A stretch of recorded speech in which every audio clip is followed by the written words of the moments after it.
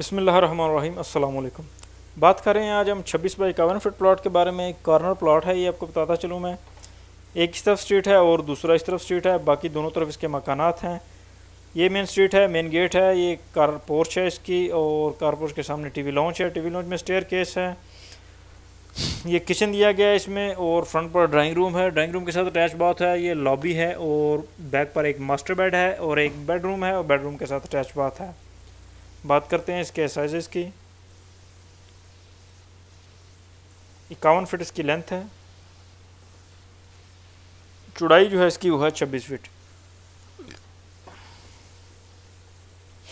ये main street है इसकी मेन स्ट्रीट है मेन गेट मेन गेट नौ फिट का कार पोर्च में आते हैं कार पोर्च में एंटर होते हैं, इसकी चौड़ाई देखते हैं।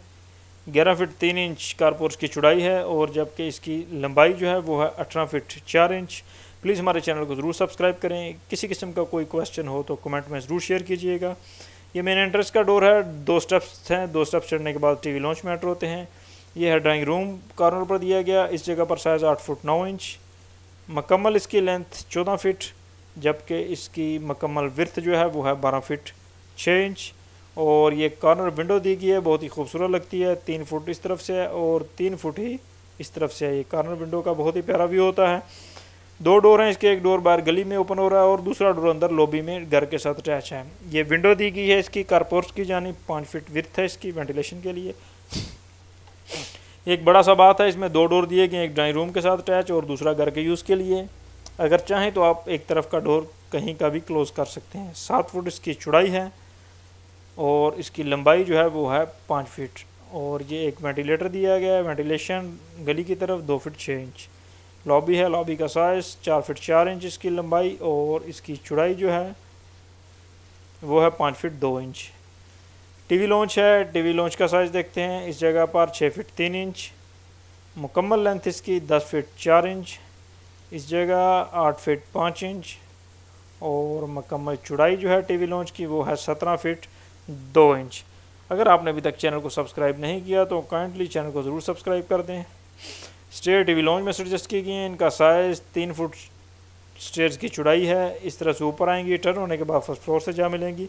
चाहे तो आप ये सेम स्टेयर्स कार पोर्च में से भी एडजस्ट कर सकते हैं। ये आपका अपना माइंड है, जैसे आपको अच्छा लगे। एक किचन है। किचन की डायमेंशन सात फिट इसकी चौड़ाई है। इस जगह पर छः फिट और मुकम्मल लेंथ इसकी नौ फिट चार इंच ज़बरदस्त किचन है। ये है हमारा स्लैब का एरिया और इसको एक विंडो दी गई है पाँच फीट की वेंटिलेशन के लिए। ये है मास्टर बेड बैग पर, इसकी डायमेंशन देखते हैं।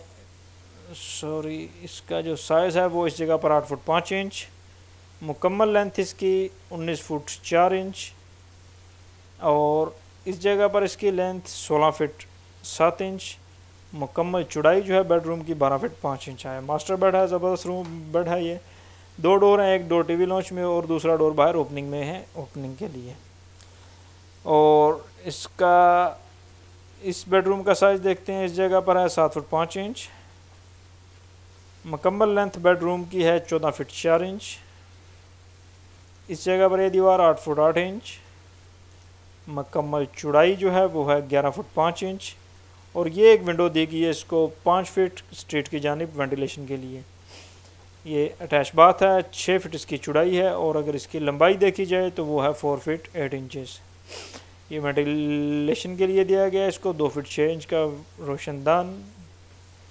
यह है सेंटर में ओपनिंग ओपनिंग की डायमेंशन पाँच फुट एक इंच इसकी चौड़ाई है और इसकी लंबाई जो है वो है चार फिट आठ इंच ये बेडरूम को बैक पर एक विंडो दी गई है ओपनिंग में, इसका साइज़ है फोर फिट वेंटिलेशन के लिए क्रॉस वेंटिलेशन होती रहेगी उम्मीद है वीडियो अच्छी लगी होगी।